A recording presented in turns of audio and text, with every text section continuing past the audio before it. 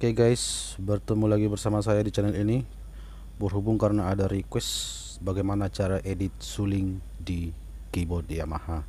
Nah, pada kesempatan kali ini saya akan berbagi tutorial tentang mengedit voice suling di keyboard Yamaha.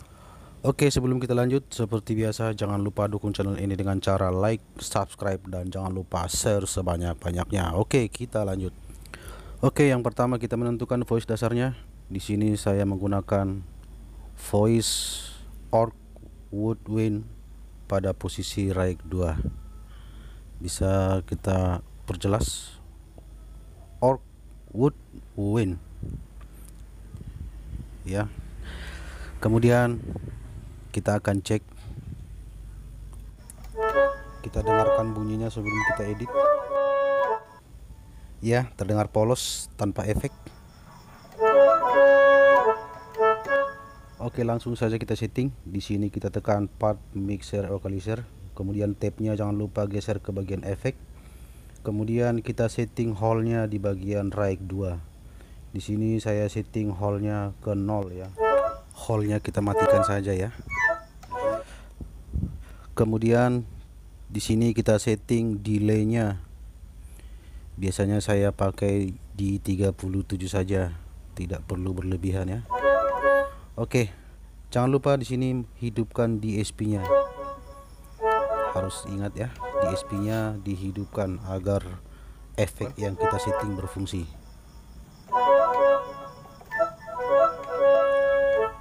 Ya, delaynya sudah terasa, suaranya sudah agak mantul-mantul.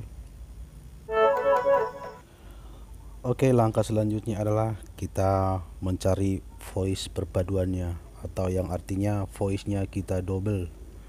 Kita dobelkan antara right 2 dengan right 1 caranya gampang tinggal tekan right 1 saja kita kawinkan.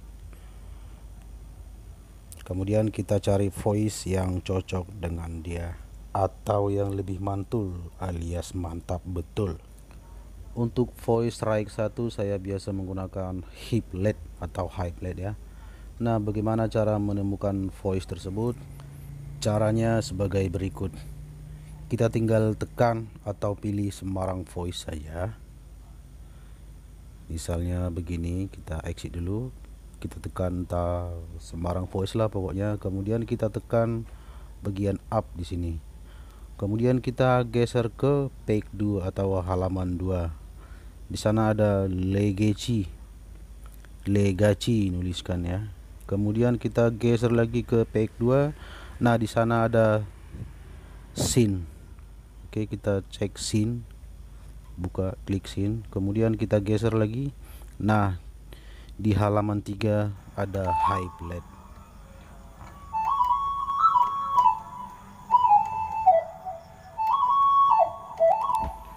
Oke, begitu kira-kira bunyinya. Nah, di sini akan kita edit kembali. Seperti tadi part mixer equalizer kemudian kita edit di bagian right satunya di bagian efeknya. Oke langsung saja ke yang biasa saya pakai. Di hall 32 kemudian di delay 32 jadi sama-sama 32 hall dan delaynya ya. Iya tetap diingat DSP nya harus dihidupkan agar settingan efeknya berfungsi ya guys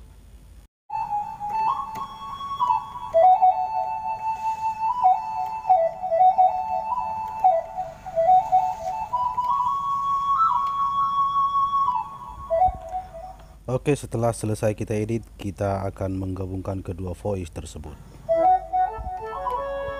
Nah jadi bagaimana kedengarannya? Cocok menurut anda? Oke di sini ada sedikit tambahan. Salah satu fitur Yamaha yang paling saya suka adalah ini. Di sini ada mono. Fungsinya apa? Mari kita lihat kita dengarkan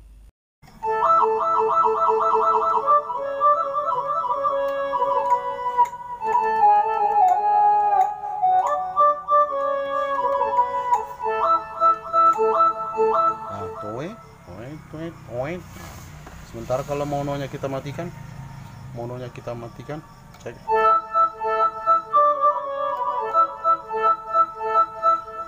Hidupkan mononya.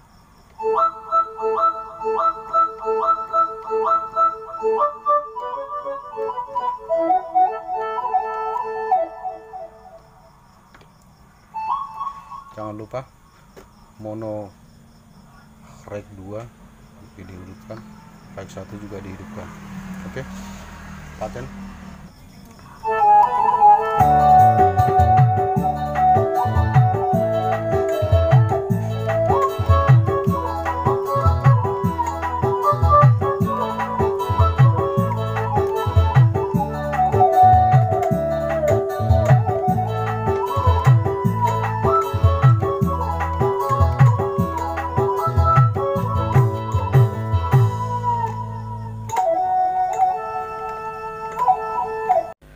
Oke baik demikian tutorial yang bisa saya bagikan pada kesempatan ini. Semoga bermanfaat dan semoga membantu